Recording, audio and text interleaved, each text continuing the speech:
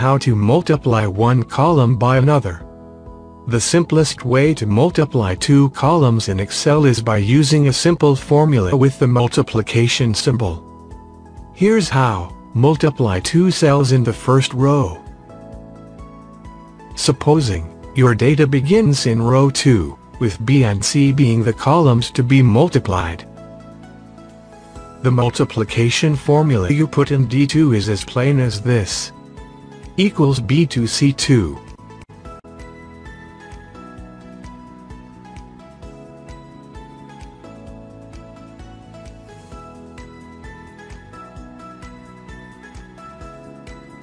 Drag the small green square in the lower right corner of D2 to copy the formula down the column, until the last cell with data.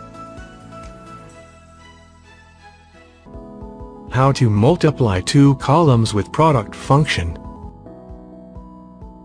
You can multiply two columns by using the product function.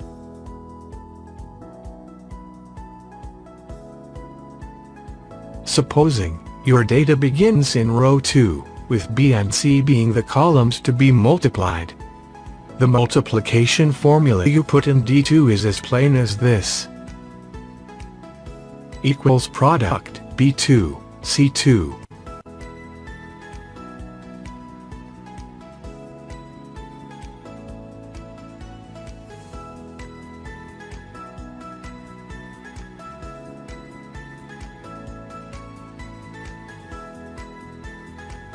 Drag the small green square in the lower right corner of D2 to copy the formula down the column, until the last cell with data.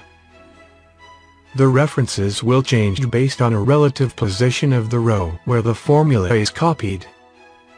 For example, the formula in D3 changes to equals product B3, C3. The formula in D4 becomes equals product B4, C4, and so on. How to multiply two columns with an array formula. Select the entire range where you want to enter the formula. Using the shown data, the range will be D2, D6.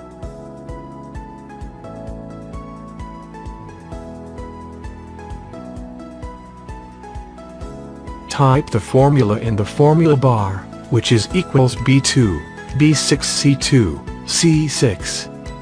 And press Ctrl plus Shift plus Enter.